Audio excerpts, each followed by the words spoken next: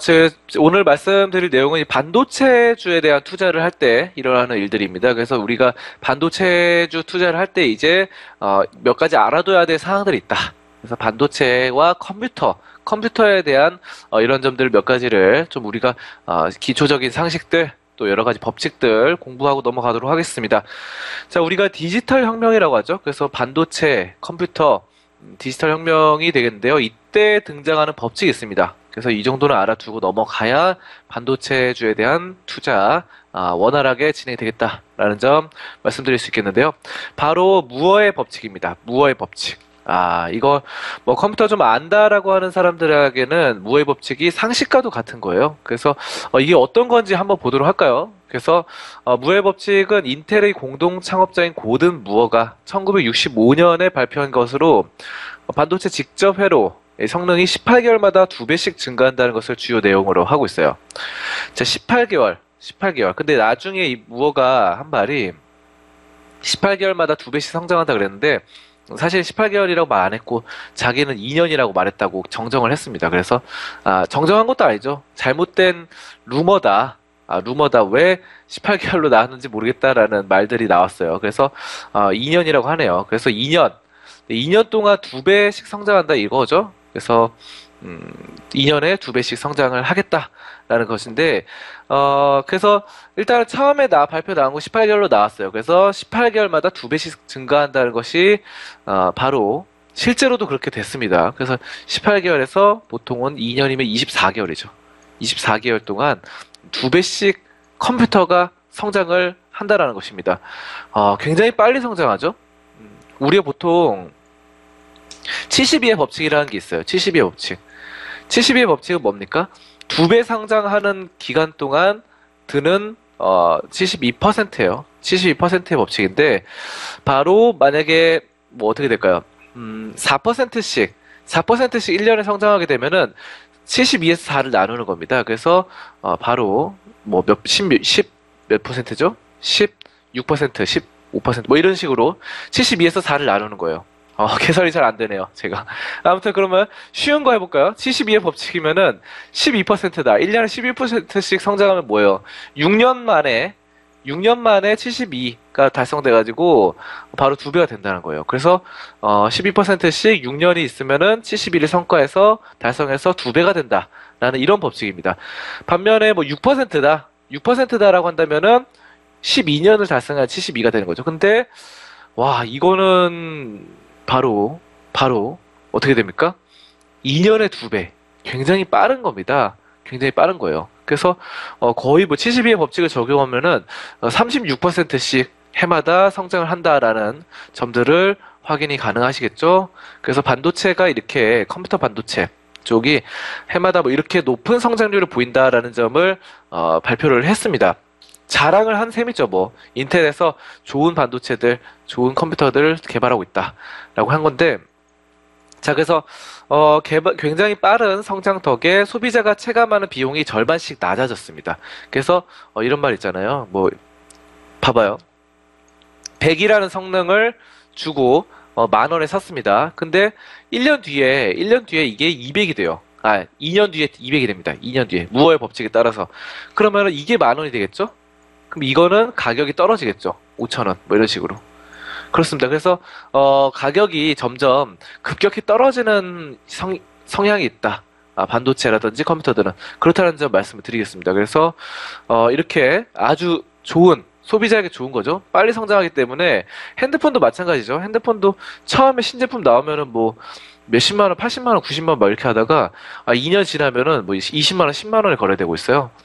그렇습니다. 그것처럼 컴퓨터도 마찬가지고 이런 것들이 바로 무어의 법칙, 바로 컴퓨터 반도체, 반도체 쪽이 바로 2년에 두 배씩 성장하는 고성장을 기록한다라는 점입니다. 자, 그래서 한마디로 더 좋은 프로세서와 용량이 큰 메모리를 보다 낮은 가격에 살 수 있는 그런 시대가 도래했다라는 점 말씀드립니다. 어, 인텔에서 이제 무의 법칙을 2014년 현재까지 꾸준히 이어오고 있습니다. 그래서 뭐 2016년, 뭐 2014년까지 통계 기록을 보니까 2014년까지의 통계 기록상 어, 바로 무해 법칙이 적용되고 있다. 라는 점입니다. 그래서 뭐 예전에 이 내용을 발표했을 때가 바로 65년도부터 발표를 했는데 2010년도 때까지 계속해서 뭐 50년 대 50년 동안 쭉잘 되었다는 것이죠. 그렇습니다. 이제 단일 소자에 넣을 수 있는 트랜지스터 수를 어떻게 계속 늘려갈 수 있을까요? 어, 인텔의 예, 이런 무월 법칙, 무월 법칙에 따라서 지속적으로 성능을 올리면서 가격은 낮춰왔어요. 예, 뿐만 아니라 이 에너지 효율 역시 꾸준히 예, 그 한계에 도전을 해왔습니다.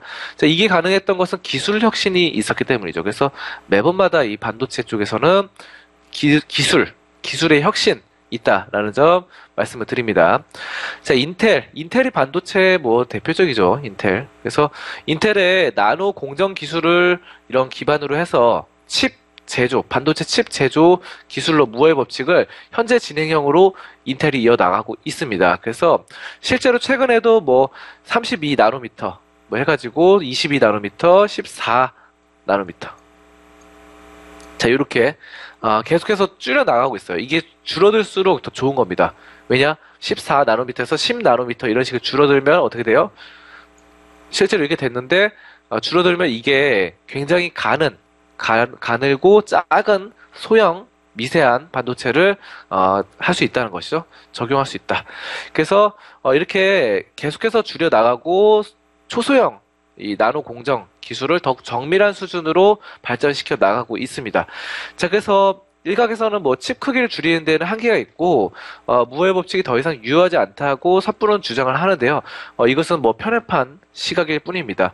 인텔의 기술 개발 로드맵만 봐도 향후 적어도 향후 10년간 무해 법칙이 유효하다는 것을 알 수가 있겠죠. 그래서 음, 바로 이런 것들 컴퓨터 나노칩 아, 인텔의 바로 이런 자부심 또 2년에 두 배씩 성장한다라는 점 우리가 알아두셔야 되고요. 어, 그 다음에는 암달의 법칙을 말씀드릴게요. 암달의 법칙. 좀, 방금 말씀드렸던 무해 법칙과는 좀 약간 상반되는 내용입니다. 자, 무해 법칙은 2년에 두 배씩 성장하면서 굉장히 고성장을 이루어내는 것이죠. 그렇습니다. 그래서 최근에도 인텔에서 컴퓨터 반도칩의 대장 인텔 거기서 굉장히 잘 되고 있다라는 점인데 암달의 법칙은 그 반대가 되겠습니다. 어, 뭐냐면은 문제가 생긴다는 거죠. 어, 우리가 매일 들고 다니는 이 스마트 장치부터 PC, 그리고 서버, 네트워크 장비, 그리고 보안 장비 중, 어, 우리 주변에 있는 대부분의 기기에는 multi processor, 무릇 프로세서, 코어 프로세서가 장착되어 있는데, 이 multi core가 유행하면서 주로 HPC, 예, 전문가나, 아, 86, 86 기반으로 바로 각종 이 장비를 만드는 개발자에게만 이 관심을 받던 법칙 하나가 바로 최근에 일반 투자자들에게도 어, 서서히 알려지고 있는데 무슨 법칙이냐면 암달의 법칙이 되겠습니다. 자, 이 법칙은 사실상 무월 법칙만큼 뭐 대중적으로 알려져 있지는 않아요. 어, 주로 전문가들 사이에서 어, 바로 어, 바로 이런 법칙과 법칙들이 만들어지고 있다는 점인데 암달의 법칙이 이제 어, 병렬 컴퓨팅과 관련해서 회자되는 키워드가 되겠습니다. 병렬 컴퓨팅. 어, 이 법칙은 핵심만 추려 설명하자면은 프로세서 수가 늘어나는 만큼 성능이 비례하지 않는다는 거예요.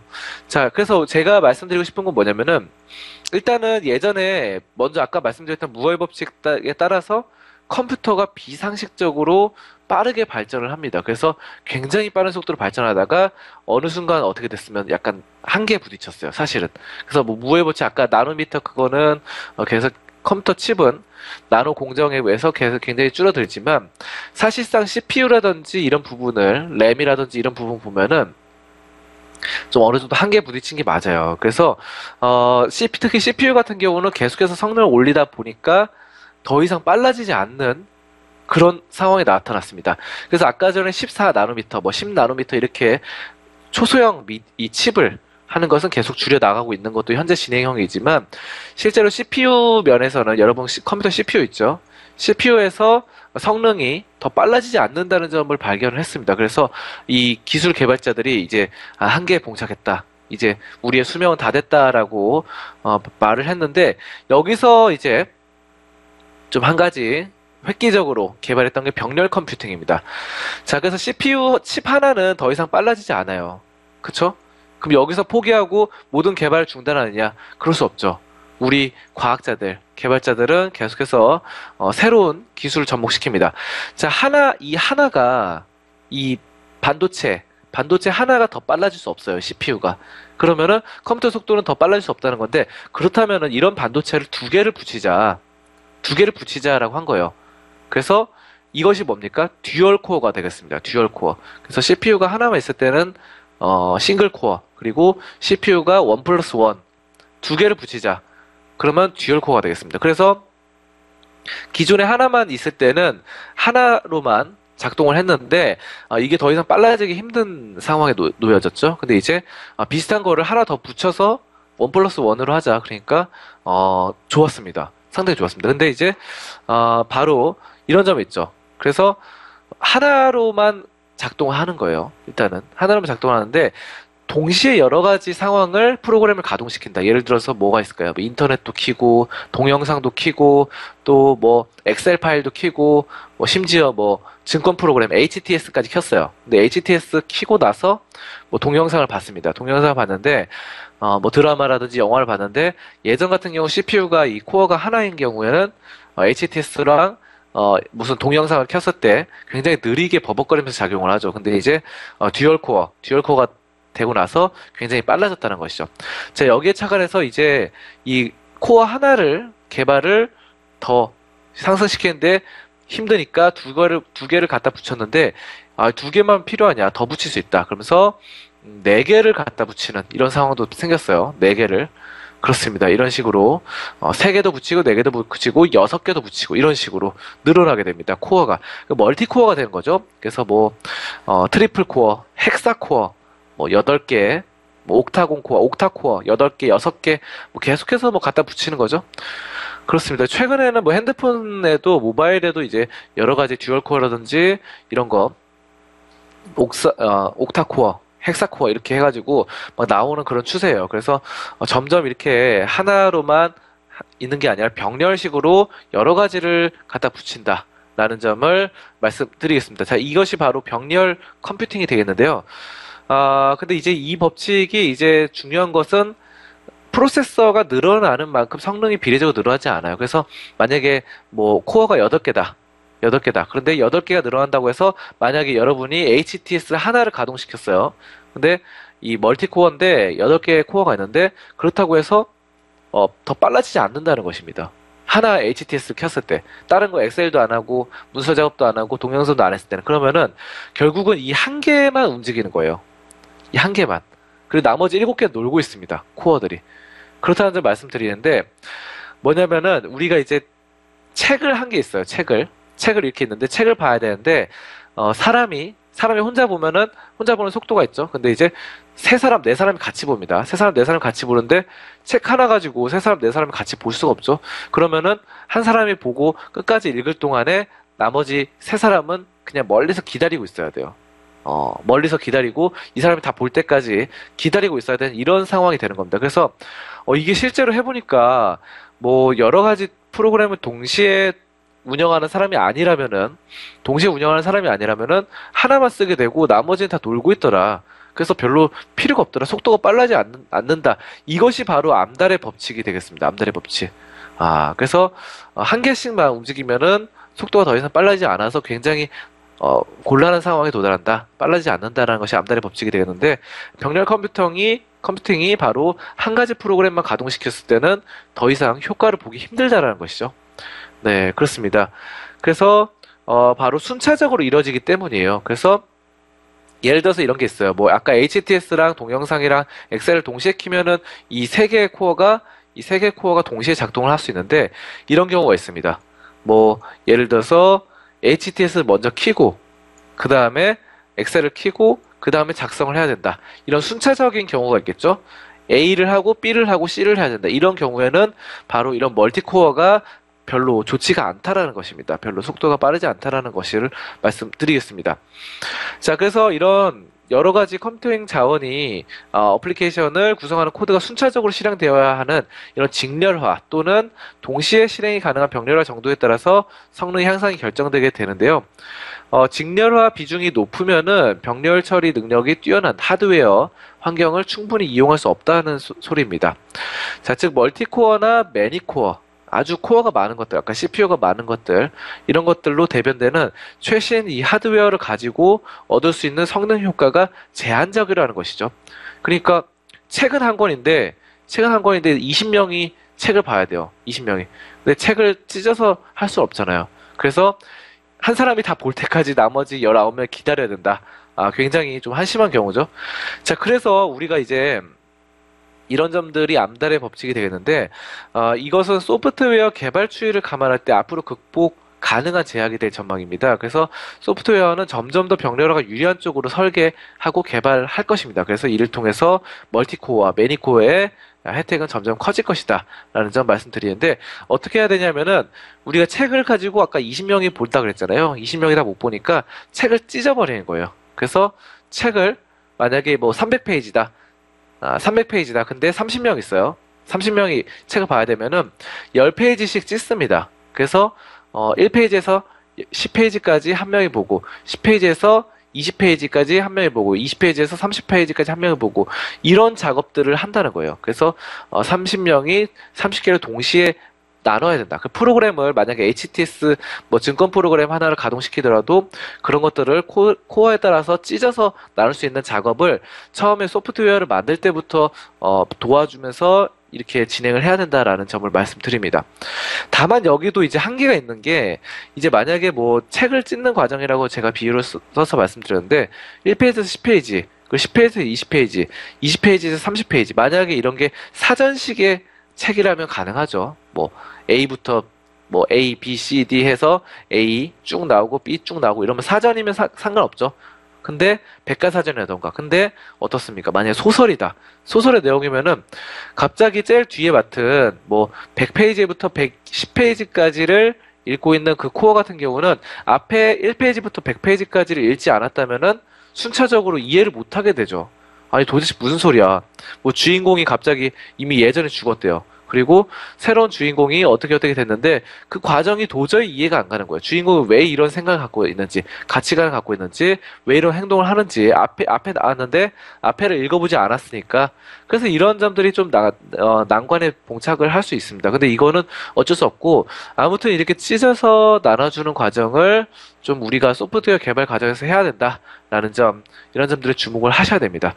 자 그래서 이렇게 여러 가지 암달의 법칙은 우리가 계속 개발을 해도 병렬식으로 했을 때 한계에 봉착할 수 있다라는 법칙이고 무어의 법칙은 18개월에서 2년 동안 두 배씩 반도체, 컴퓨터 반도체가 성장을 한다는 거예요.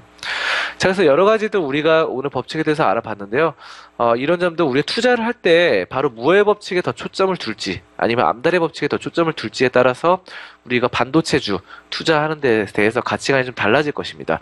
그래서 반도체를 어떻게 보는지 미래 산업으로 어떻게 보는지 또 컴퓨터 컴퓨터 산업 앞으로 어떻게 이 더 초소형 칩 10나노미터, 8나노미터, 6나노미터 계속 이어질지 이런 점들에 대해서 우리가 기초적인 상식 공부하고 그 다음에 뭐 삼성전자의 반도체라든지 SK 하이닉스 어떤 식으로 공정들이 이루어지는지 또 신사업으로 뭐 저런 것들 SK 하이닉스나 삼성전자에서 반도체가 어느 정도 수준으로 발전을 하고 앞으로 뭐 2년에 두 배씩 발전할 것인지 이런 점들을 가늠하는 공부를 해봐야 되겠습니다. 그리고 반도체주에 어, 투자를 해야겠죠.